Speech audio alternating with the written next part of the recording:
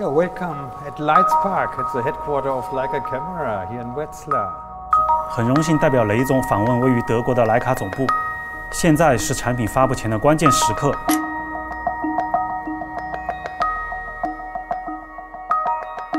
Mobile devices allow now everybody to take pictures.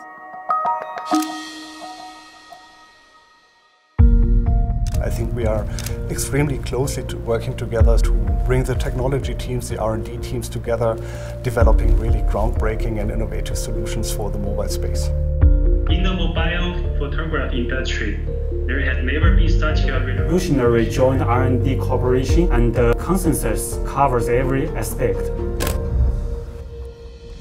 Xiaomi and Leica shares the same vision when it comes to photography and both put a lot of effort into innovation and ensuring high quality.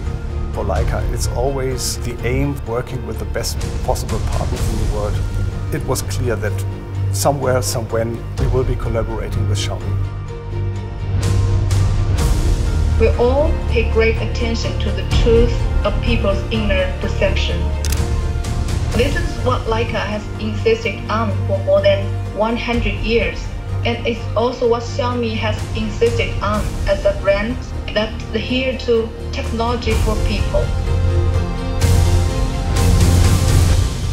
Everyone can get the best image out of every scene.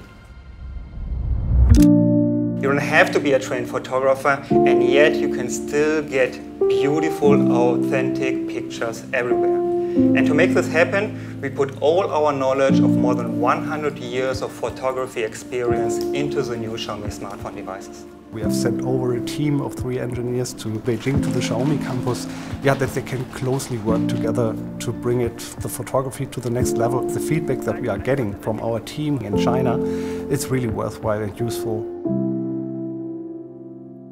It's about two weeks ago when we took our first field test image. The results already look amazing. The hardware optimization and the software improvement really, really pays off.